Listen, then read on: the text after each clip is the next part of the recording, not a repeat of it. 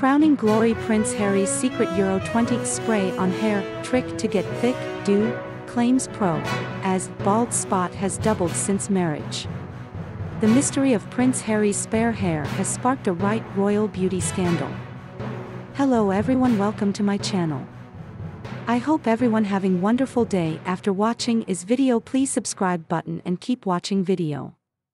Your subscription is very important. The Duke of Sussex, 38, was seen with thick, dark, locks in a promotional head shot for BetterUp, an American mental health tech startup, earlier this week, yet days earlier his flame-colored mane appeared much thinner and lighter at a polo match in Singapore. So, what's the deal? Is Harry getting closer to the crown or is he doing all he can to hold on to his red locks? Commentators claimed Harry's promo shot had been photoshopped, but experts believe the answer is far less high-tech and actually lies on the shelves of your local pharmacy. Founder of SPX Spencer hair, Stevenson, a leading hair loss and hair transplant advisor claims Harry's luxuriant mane is likely down to spray on hair used for events and shoots. He added, I think it's very likely he is using nanogen hair fibers. This is an A-list celeb secret and helps many when they need to thicken their hair up instantly for a photo shoot or a movie. You can pick up Nanogen fiber spray for as little as Euro 20 from Boots. The brand claims Nanogen keratin fibers merge perfectly with your own hair using electrostatic charge to give instant, natural and durable hair thickness which lasts all day. Spencer added, I think Harry's hair shows signs of being helped as it looks darker and thicker. While the prince would look handsome bald or with luxuriant locks, experts predict Harry's hair thinning will accelerate, a predicament facing most men in middle age. Nearly 7 million Brits experience baldness or hair loss, and even A-list celebs David like Beckham Rooney. are rumored to have had treatment to combat their thinning thatches.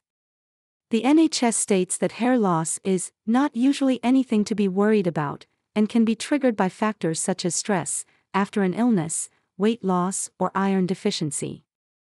In midlife men most hair loss is hormonal and not linked to these conditions. Spencer said Harry has experienced a significant amount of hair loss as a result of male pattern baldness. Harry cruelly called his brother William's hair loss alarming in his controversial autobiography Spare, but Will seemingly embraced his baldness by forking out Euro 180 for a no one buzz cut back in 2018. In contrast, it appears that Harry is doing all he can to hold on to his ginger thatch.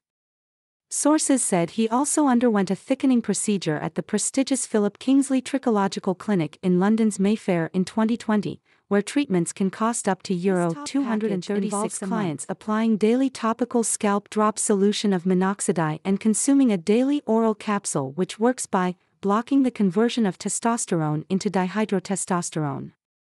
A source at the time said, Harry's visit caused a real stir. This company is so prestigious. It's one of the best places in the world. It's got a whole range of different treatment plans. The richest, most famous, and well connected use it. The meeting with Harry went well. Harry is far from alone in seeking out treatments, with the UK hair loss market being worth Euro 6 million in 2020, with top products including vitamin supplements and hair loss treatments. It isn't the first time people queried if a photo had been retouched, after his Time 100 cover with Meghan Markle in September 2021 where he sported a thick head of hair. There is no suggestion that Harry edited the picture treatments to help stop further loss and help regrow his hair then he will likely be bald like his brother William in 18 months, said Spencer. Meanwhile, hair expert Dr. Asim Shahmalak from Manchester's Crown Clinic previously claimed Harry's bald patch doubled in size after marrying Meghan. Dr. Asim Shahmalak, whose celeb clients include Callum Best and TV's Dr. Christian Jessen, said, Prince Harry's hair loss looks to have accelerated in the last few years since his marriage to Meghan. His bald patch is more noticeable around the crown area, but his hair looks to be thinning fast around the front of his hair too. While we may be able to attribute this to stress, the most likely reason for his hair loss is the Windsor baldness gene. After the royal wedding celebrations, Prince Harry had a turbulent few years, from stepping back from the royal family with with, the famous family over next to his bombshell Oprah Winfrey interview and spare autobiography. And that in that time he's become a father of two, and there are many men who think the stress and exhaustion of fatherhood have robbed them of precious strands. Prince Harry may have sought treatment in California, now that he's relocated to Santa Barbara with Meghan and their two kids, Archie, 4, and Lilibet, 2.